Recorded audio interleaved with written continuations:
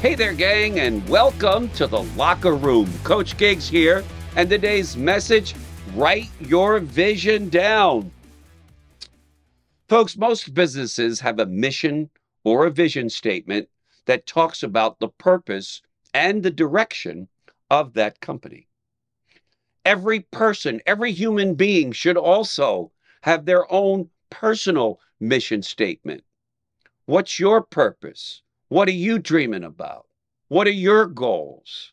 How are you going to use your talents and your abilities? Have you written any of this stuff down?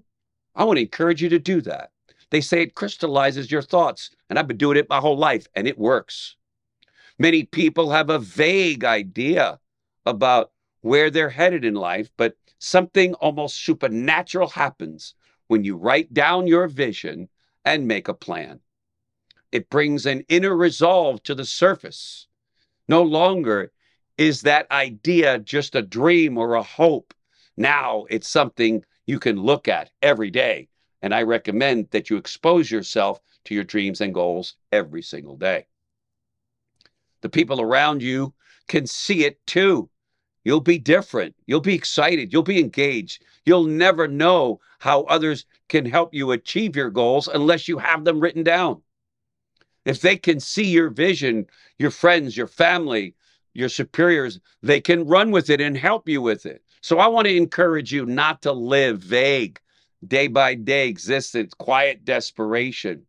Don't squander each day. Instead, become a meaningful, specific, not a wandering generality. Well, would be nice.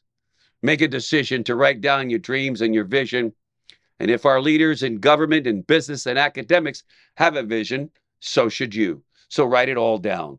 And let me close out with this quick little story. When I was a young boy getting into the insurance business, I wanted to have a Porsche 928.